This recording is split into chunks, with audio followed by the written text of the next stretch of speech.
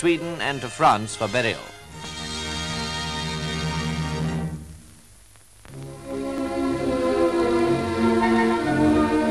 During their stay at Balmoral, their Majesties invited the Australian cricketers, as well as the Scottish team they'd been playing, to tea at the castle.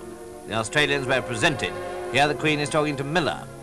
The Duke of Edinburgh was there and had a chat with Don Bradman. The cricketers walked with the royal family in the grounds during this very happy and privileged occasion at the conclusion of their brilliantly successful tour. Princess Margaret with Miller and other members of the team, and the young Duke of Kent with the Australian captain. At the Aussies farewell luncheon, held in the Savoy Hotel, London, a magnificent silver bowl was presented to Don Bradman by Lord Gowrie, MCC President, who handed it to him on behalf of subscribers from all over the country. This was a happy occasion for Don and his team, and it must have been a thrilling one indeed for the nine young cricketers chosen by ballot to represent the schoolboys of Britain and seen listening enthralled to Norman Yardley, England's captain.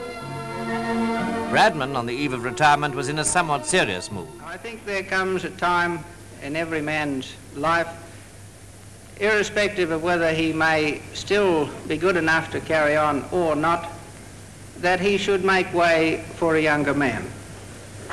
I feel that in my own case, and I think I'm probably the best judge of the many little creaks and groans that go on in my joints throughout the day, uh, especially when we're out in the field and I'm quite sure I shall have no regrets at all in having to sit in the pavilion and watch the other fellows. However, I do trust that in some other capacity I may be able to serve this wonderful game for many years to come. And in conclusion, may I just say, let us all continue to work for the well-being and the prosperity of this great British heritage cricket.